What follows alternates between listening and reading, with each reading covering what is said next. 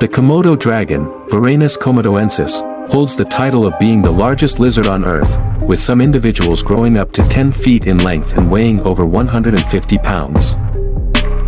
Komodo dragons have a unique and deadly bite. While they were previously thought to kill through bacteria in their mouths, recent studies have revealed that their venomous glands in the lower jaw play a significant role in subduing prey.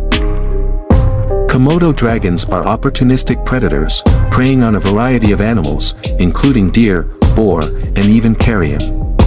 They are known to have an extremely strong digestive system that can break down bones and teeth, leaving no waste behind.